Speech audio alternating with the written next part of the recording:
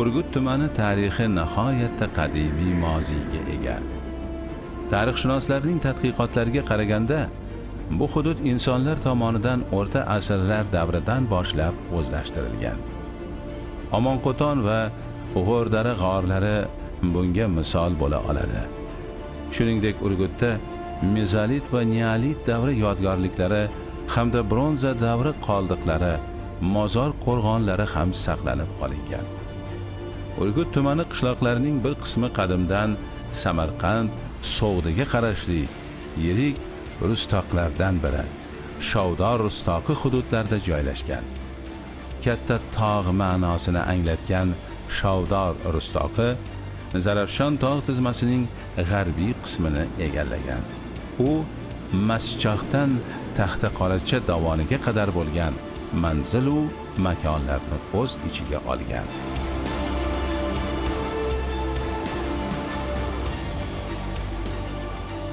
Urgut e, umuman e, buyuk ipak yo'lini o'sha bevosita samarqand so'g'dining janubiy sharqiy qismida joylashgan ya'ni buyuk ipak yo'lini qashqadaryo hamda samarqandni bog'laydigan e, shuningdek esa samarqand va panjikentni bog'laydigan buyuk ipak yo'li chorrahasida joylashgan.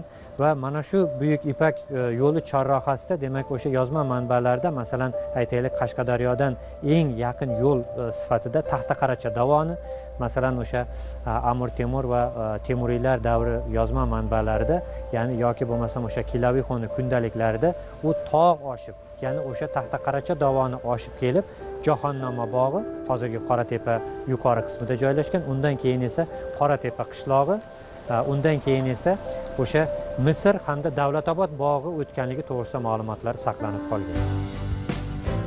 Darhaqiqat qadimda urgut tumanidan o'tgan buyuk ipak yo'li bo'yidagi qadim qishloqlar bugun ham qashqadaryo vohasiga o'tuvchi yo'lovchilarni o'z maftunkorligi bilan hayratga solib keladi. Biz hikoya qilmoqchi bo'lgan tersak qishlog'ining bugungi turizm qishlog'iga aylangani ham bejiz emas. Shu bois qishloq tarixini o'rganishni uning bugunidan boshladik. Hurmatli mehmonlar e, bosh tersa qishlog'iga e, mehmon uyimizga xush kelibsizlar. Mana shu e, bizga aytishlaricha siz bu turizm qishlog'idagi eng birinchi ochgan uy mehmonxonalardan biri ekansiz to'g'ri. Shu tashkil etilishi ochilish jarayonlari haqida bir o'quvchilik vaqtimda shu samarqandga ko'p borardim. Tarixiy yodgorliklarni bir tomosha qilib so'ng e, o'sha yerda chet eldan kelgan sayyohlar bilan uchrashib qolganman ko'nglimda o'sha paytlarda menda bir haligi tuyg'u paydo bo'lgandiki e, shu bizni ham qishloqqa shu turistlar bormi borarmikan degan bir haligi niyatlar qiluvdi. Shu munosabat bilan men maktabda fransuz tilini o'rgandim. Ikki yil keyin samarqand davlat universitetiga fransuz tili fakultetiga kirib bir ming to'qqiz yuz yetmish ikkinchi yilda universitet tugatdimda keyin e, o'zimizni mana shu mahallaga kelib urgutga kelib fransuz tili o'qituvchisilik qildim. Hamda menda o'sha boyagi qiziqishni ro'yobga chiqarish uchun tez tez samarqandda haligi e, borib turdim. Turistik fermalar bilan sayyohlik fermalar bilan aloqani nima qilib bir ming bir ming to'qqiz yuz to'qson oltinchi yildan men turistni mana shu yerga jalb qilishni boshladim. Bir ming to'qqiz yuz to'qson oltinchi yildan oilaviy mehmon oilaviy mehmonxonalarni o'sha asta asta asta asta rivojlantirib ochishni boshladim. Mana hozirga kelib dastlab men mana shu ishni boshlaganimda turistlar bilan menda faqatgina fransuz fransiya davlatidan mehmonlar kelardi asta asta haligi keyin o'sha yevropa mamlakatlaridan italiyadan ispaniyadan daniyadan keyin belgiyadan mehmonlar kelishni boshladi. Mana keyingi vaqtlarda kanadadan kelyapti. Amerika qo'shma shtatlaridan ham kelishni boshladi уже keyin rossiyadan mehmonlar kelishni boshladi.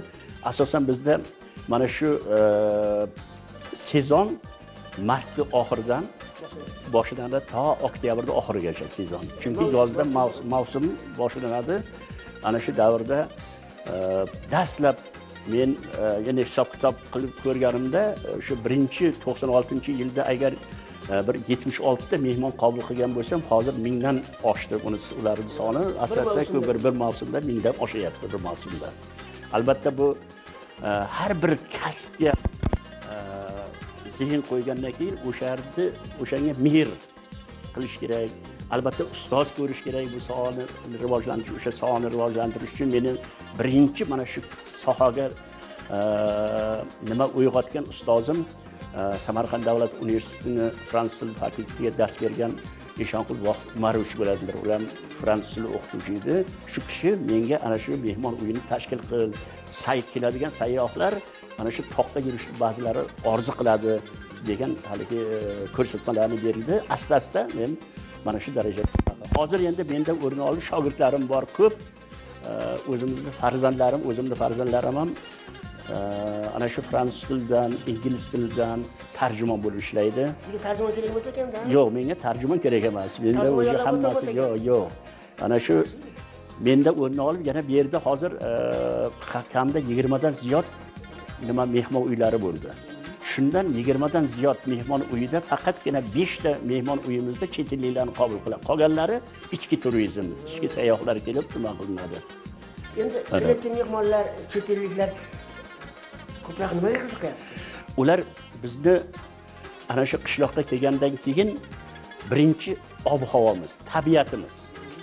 Keyin tog' haligi ob havosi tog'da tog'da sayohat uyushtirishimiz mana eshakda otda ular haligi nima qiladi? Sayohat uyushtiramiz.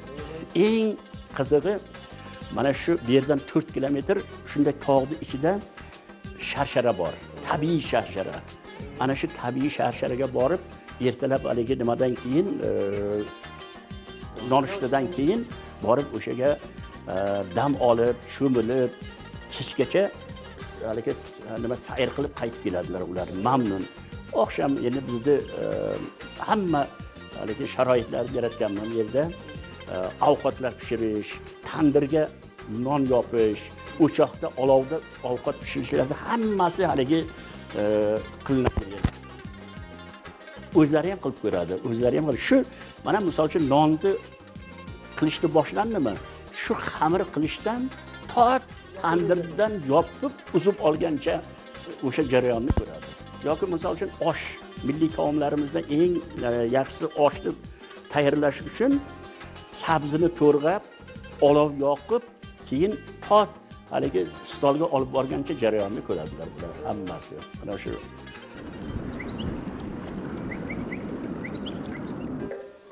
qo'shin aka mana siz xonani juda chiroyli qilib bezatsiz aslida ular mana bu osib qo'yilgan buyumlarga bizni milliy e, kiyimlarga buyumlarga ham bir katta qiziqish bildirsa kerak albatta bizni qadimiy haligi e, jihozlarimiz mana bu yerda qarang mana e, karasinka bir vaqtlari chiroq ularni haligi nimaligini bir xillari bilmaydi ko'rsatamiz. Mana bu yerda qarang milliy o'zimizni milliy isitish pechkamiz.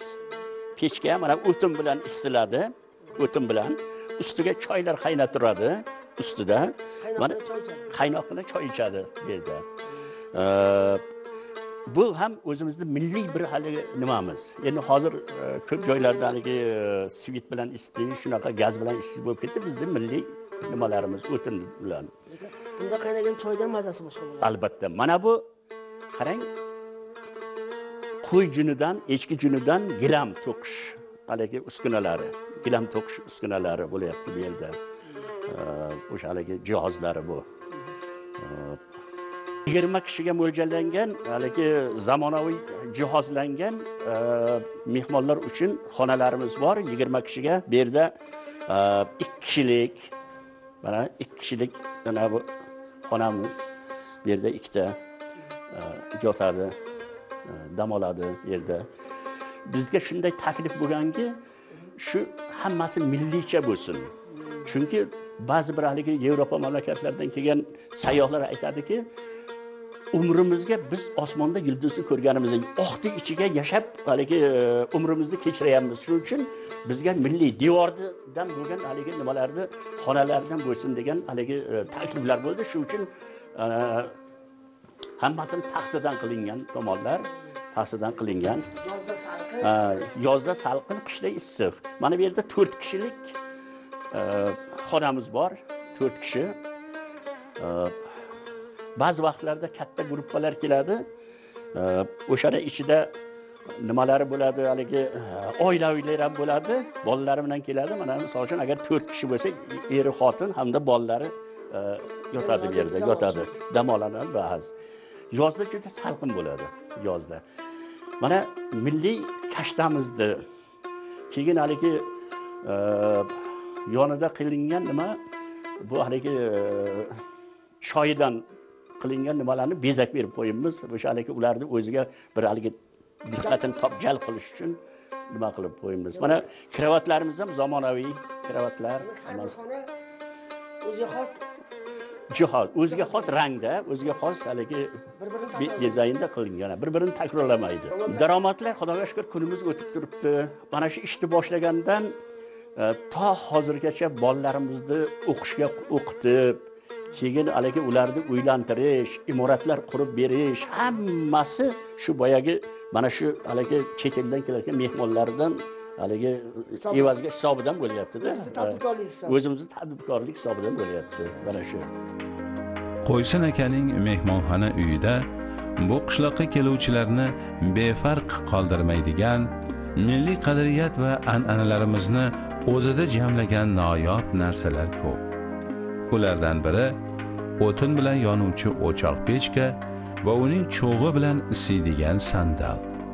Biz ham tancha sandal atrofida o'tirib o'choq pechka ustida choynakda qaynagan suvdan damlangan choydan ichish va qo'ysin akaning uyida tayyorlangan qo'lbola taomlardan tanovvul qilish baxtiga muyassar bo'ldik.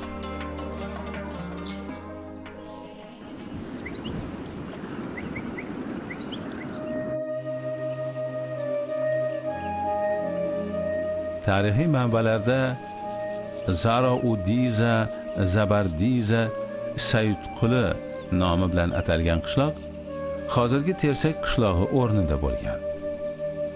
Zabardiza so'zi sug'diy zabar baland yuqori turuvchi va diza qal'a so'zlaridan yasalgan ya'ni yuqoridagi qal'a ma'nosini ifodalagan. Zabardiza qishlog'i tersaksoy bo'ylab joylashgan bo'lib bu soyning suvi janubi g'arbdan shimoli sharq tomon oqadi. Bu yerda yashovchi mahalliy aholining aytishicha buyuk ipak yo'lining qadimgi tarmoqlaridan biri tersaksoy bo'ylab o'tgan va u qashqadaryoning qaynar buloq makrid va oyoqchisoy kabi qishloqlariga olib borgan. Ilk o'rta asrlarda ma'lumki so'g'da savdo sotiq munosabatlari nihoyatda rivojlangan. Va bu savdo sotiq munosabatlarida o'sha urgutgan buyuk ipak yo'li e, chorrahasida joylashgan demak e, bir qator qishloqlari va shaharlari ham demak o'sha gullab yashnaganligini ko'rishimiz mumkin.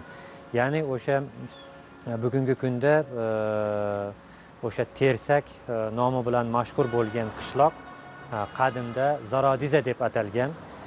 Masalan o'sha e, 11-12 asr yozma manbalar jumladan as somoniyni asarida zaradiza e, demak o'sha e, qishlog'i bu o'sha shavdor tog'i yaqinida joylashgan bo'lib samarqanddan to'rt farsaq uzoqlikda joylashgan qishloqdir deb ma'lumot beradi. Ya'ni 16 asr 17 asr vaqt hujjatlarida bu qishloq zabardiza deb atalgan. Va o'sha e, xo'ja ahror valining vaqt hujjatlarida zabardiza qishlog'i hozirgi tersak hududlariga to'g'ri kelishi qayd etilgan. Arxeologlarimiz bu yerda arxeologik qidiruv ishlarini amalga oshirgan. Ya'ni o'sha e, omonqo'ton soyida yo'lsoy deb ataladi. O'sha yerda e, e, yozma manbalarda degrez deb atalgan karvonsaroy mavjud bo'lgan. Ana shu karvonsaroyni topib ochib o'rgangan. Ya'ni bu karvonsaroy Э, o'sha э, qoraxoniylar davrida gullab yashnaganligi mo'g'ullar imperiyasida vayron bo'lganligi keyin esa e, temur va temuriylar davrida yana ham o'z qaddini tiklab bu karvonsaroy gullab yashnaganligi demak olib borilgan e, arxeologik tadqiqotlardan ham ma'lumdir. E, bizni mana shu qishlog'imiz samarqand viloyati urgut tumanini eng chekka yana qashqadaryo viloyati bilan chegaradosh e, nuqtasida joylashgan. Albatta har bir qishloqni o'lkani o'zini ma'nosi bor. Kelsak bizni qishlog'imizni ma'nosi ikkita nimasi bor ma'nosi bor. Birinchisi qadimiy ma'no keyin ikkinchisi zamonaviyroq hozir endi man manbalarga tayanib shu gapni aytmoqchimanki qadimda mana shu joyda hech kim yashamagan. Faqatgina bu yerda yovvoyi vahshiy hayvonlar yashagan. Endi mana qo'shni tojikistonning mm, hisor tog'lari bor. O'sha yerda chorvaga juda mos chorvani ko'paytiradigan e, boy insonlar yashagan yerda. Shu yaxta chorva ko'payavergandan keyin o'sha hisor tog'larida o'ziga to'q boy insonlar aka ukalar kelishib endi bu yerda bizni chorvamizga e, boyagi joy torliq qiladi shunday joy topishimiz kerakki biz endi bu chorvamiz e, rivojlansin deb u e, kelishgandan keyin chopar jo'natadi bu tomonga tog' bilan oshib kelib bu yerda ko'rsa mana bu yerdan haligi taxti qaracha keyin mana bu bizni tersak soyini boshlari keyin mana bu qo'zichi qishloqlarni ustiga kelganda keyin bu yerda aholi bo'lmagan oldin choparlar kelib e, ko'radiki bu yerda chorvani rivojlantirsa bo'ladi. So'ng ular borib o'sha e, o'ziga to'q boy odamlarga aytadiki haligi aka ukalarga aytadi juda yaxshi joy ekan shu yerga chorvani olib borib ko'paytirsak bo'ladi deydi. Keyin erta bahordan o'sha paytda keyin o'sha haligi cho'ponlar bilan o'zlaridagi mavjud o'sha haligi qo'y e, guruh gruppalarini mol ot hamma chorvalarni bu yoqqa shu haydab keladi. Bu yerda yovvoyi hayvonlar e, boyagi hisobga olinmagan bo'ladi. Bir hafta ikki hafta bir oy o'tgandan keyin ancha haligi cho'ponlar haligi o'zlarini e, chorva mollarini yo'qotishni boshlaydi. Agar bunday bo'laversa deydi haligi chopor e, cho'ponlar aytadiki biz endi nima qilishimiz kerak? Chunki biz yo'qotib qo'yamiz hammasini. Biz u haligi mm, boshliqlarimizga nima deb javob beramiz degandan keyin bittasi borib xabar qiladi u yoqda borib xabar qilgandan keyin o'sha haligi o'ziga to'q e, haligi boy e, insonlar lekin bashoratchi chaqiradida aytadi shunday shunday bo'libdi endi nima qilishimiz kerak? Aytdim muammosi yo'q. Hisor haligi qo'riqchi katta itlar. Ana shulardan to'rttasini olib borasiz to'rt tomonga taylaysiz deydi. Ana o'shandan o'sha chorvonlaringiz omon qoladi degan bir fikrni beradi. Keyin o'sha hisor tog'larida e, voyaga yetgan ko'paygan itlardan to'rttasini olib keladida mana shu qoyalarni to'rtta haligi tepaliklarga qo'yadi. Shunday itlar bo'ladiki ularni damidan man degan haligi e, yovvoyi hayvonlar e, qochadi. Olib kelib taylagandan keyin bir kun ikki kun yoki bir hafta ikki kundan keyin hech qanday yo'qotish bo'lmaydi. Endi tersak so'zini qadimiy ma'nosi terisak. To'rt it degan so'z. Haligi teri bu qadimgi yunon grek tillarida to'rt degan ma'noni bilgan. Sak it. Shu tilshunoslikda shunday haligi jarayon borki assimilyatsiya dissimilyatsiya degan jarayonlar bor. O'sha assimilyatsiya dissimilyatsiya ya'ni bir so'zni harfni tushib qolishi yoki bir harfni qo'shilishi bo'ladi. O'shanda bu yerda teridagi e harfi tushib qolib e, tersak ma'nosini beradi. Tushib qolgandan keyin tersak bo'ladi. Bitta so'z bo'lib qoladi bu yerda. Shu shu uchun tersak bo'ladi ya'ni to'rt it ma'nosini bildiradi. Yana bir e, taxminimiz mana bu buyuk ipak yo'li bu yoqqa qarab qashqadaryo tomonga o'tgan. Ha mana bizni qishlog'imizga burilayotgan joyda qizilbosh degan qishlog'i o'sha yerda burilsangiz mana bunday tirsak shaklida ham burilgan.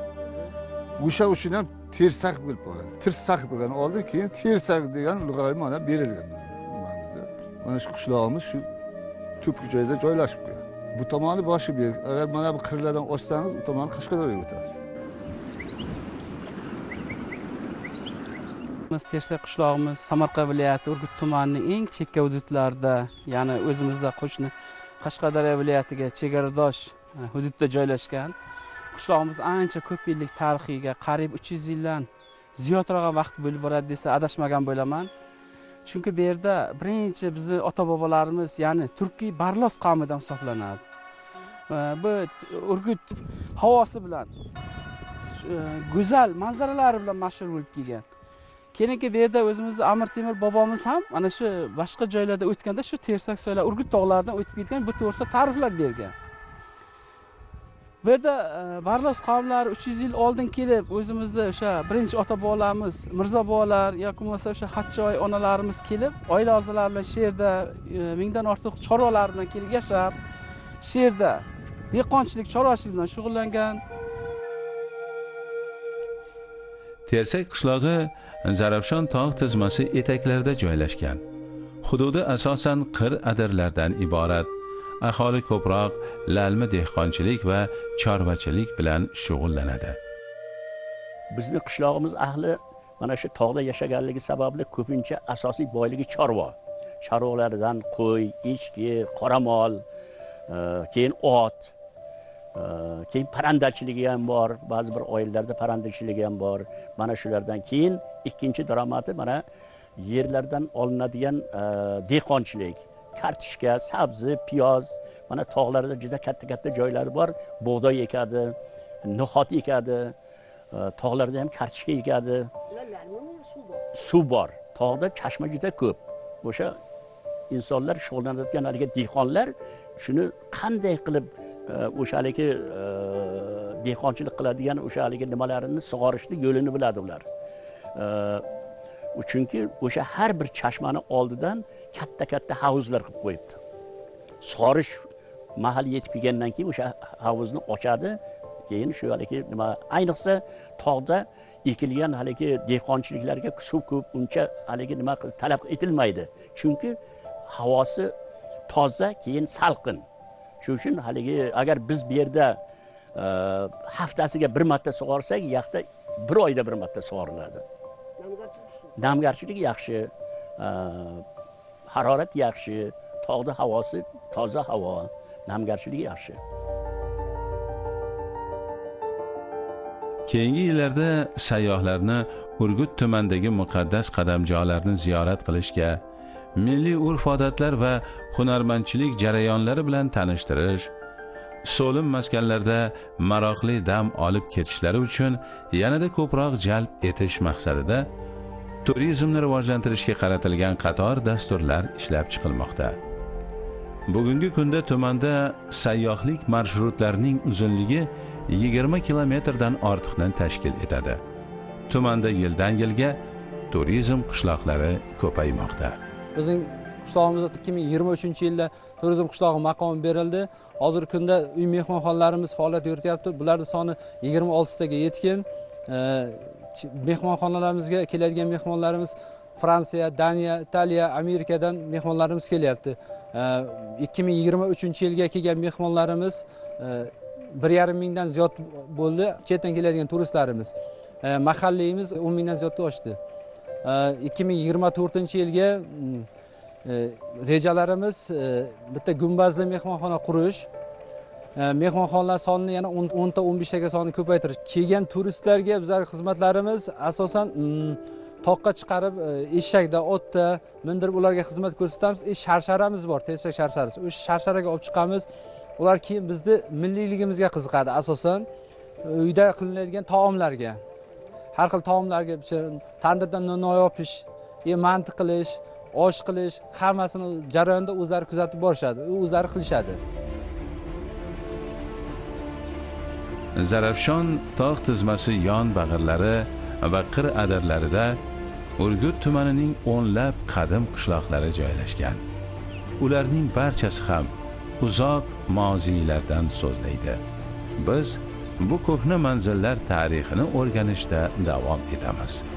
Dasturlarimizni kuzatib borishni unutmang.